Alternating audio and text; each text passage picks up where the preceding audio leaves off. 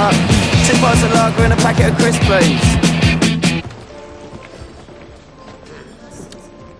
Um, you look.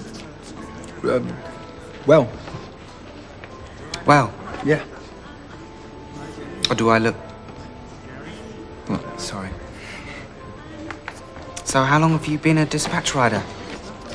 It's two years. Before that, I was a cinema rush. Before that, I sold magazines outside tube stations. Before that, I worked in a record shop. Before that, I, uh, I did a load of jobs before that. You were exactly pension plan material, were you? Madam? Thanks. Sir. So how's your mum and dad? Don't know. I see a lot of my sister, Jean. Her husband's a sergeant out at Woolwich. I've done a few drop-offs at Woolwich. It's 20 quid job, that is.